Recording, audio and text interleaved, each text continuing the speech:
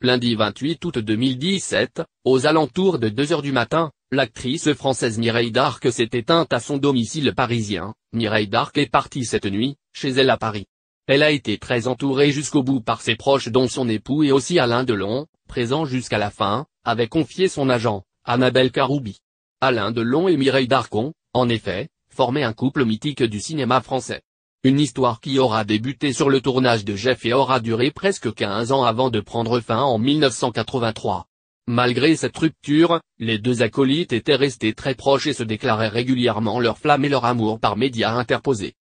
Après cette terrible disparition, Alain Delon s'est confié à nos confrères de Paris Match sur le calvaire qu'il endurait depuis la mort de son ancienne amante, ce n'est pas une partie de ma vie qui s'en va, c'est ma vie. Point, sans elle, je peux partir moi aussi.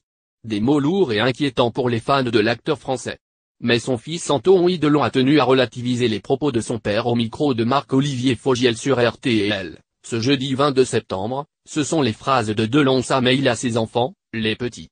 Il ne peut pas quitter le navire comme ça sans minimiser la douleur de son père, l'acteur a rappelé sa très grande force, il est comme un chat, il retombe toujours sur ses pattes.